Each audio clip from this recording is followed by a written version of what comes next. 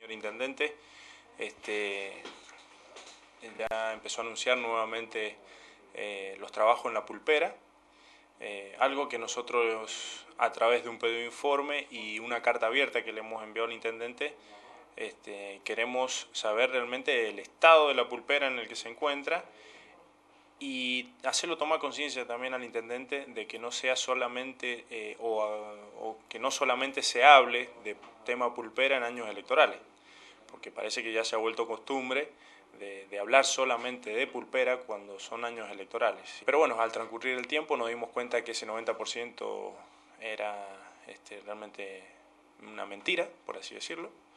Por eso es que hemos elevado este pedido de informe donde nosotros les vamos a pedir al Ejecutivo que nos detalle bien en qué porcentaje de construcción se encuentra la pulpera, este, que nos detalle un porcentaje real este, y cuánto estaría faltando para terminarla, eh, y queremos también hablar de tiempos y costos.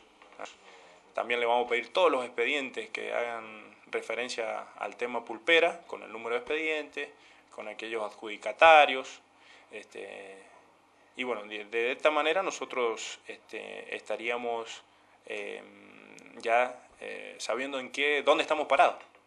Otro tema que nos preocupa, otro tema que nos preocupa que hoy se está construyendo en un parque industrial que no tiene los servicios esenciales. Se va a montar una fábrica donde va a recibir una cierta cantidad de, de, este, de frutas por día, algo de 250 mil kilos por día, la verdad que es muy bueno. Estamos recopilando información, este, para que nosotros, tanto nosotros como el ciudadano de San Rafael, ya sepa realmente en qué lugar nos encontramos. La pulpera está bien, está avanzando, a paso lento pero avanza. Hay que decir que la pulpera, la verdad que los fondos eran nacionales, eh, estos fondos nacionales fueron discontinuados con el cambio de gobierno de la nación, los, fondos se discontinuaron, entonces eh, lo que hizo el municipio es seguir la obra con fondos propios. Eh, la maquinaria está toda lista, la caldera se está construyendo en Caldimet, así que los invito a pasar por ahí para verla cuando quieran. Y el edificio se está levantando, está licitado lo que tiene que ver este, con la obra de energía este, y conexiones del agua interna y externa. La pulpera este, va a tener una capacidad de 250.000 kilos, de, de procesar 250.000 kilos de fruta por día.